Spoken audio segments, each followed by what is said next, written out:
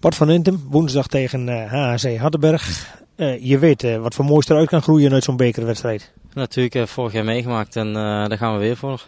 Het zou mooi zijn. Ja, dat toch wel. Je bent lang op het veld gebleven vanmorgen. Ja, het is mooi weer, dus het is heerlijk om een balletje strak te trappen. Lekker ontspanning. Even na de, na de training moest je nog een paar balletjes afwerken. Ja, is heerlijk.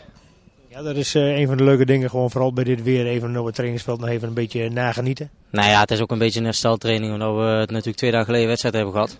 Dus het is vandaag, uh, we zijn volgens mij niet langer dan een uurtje op het veld geweest. Dus dan is het heerlijk om nog lekker ontspannen een paar balletjes te trappen. En voor Warner is het ook heerlijk om nog een paar balletjes in handen te krijgen. Ja, er komt een druk programma aan. Nee, natuurlijk. Maar ja, daar doe je het voor als voetballer. morgen wordt de wedstrijd, zaterdag wordt de wedstrijd. Maar ja, daar leef leef je naartoe. Het zijn alleen maar leuke dingen.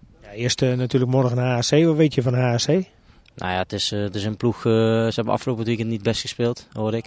Alleen de trainer zei al van hun beleven de wedstrijd zoals wij die finale hebben gespeeld. Dus hun zullen boven hun krachten spelen. Dus het zal gewoon lastig worden morgen. Ja, maar ik zie ook dat bij Zwolle wordt de wedstrijd serieus genomen. ja, grotendeels deze normale opstelling staat in het veld. Nou ja, natuurlijk. Dat hebben we vorig jaar ook gedaan met het hele beektoernooi. Dan gaan we dit jaar gewoon mee verder. En zoals je ziet, uh, je kunt ermee ver komen, dus, uh, dus waarom niet? Uh, je moet elke wedstrijd aangrijpen die je gewoon moet winnen. Dus hij is net zo belangrijk als alle andere wedstrijden.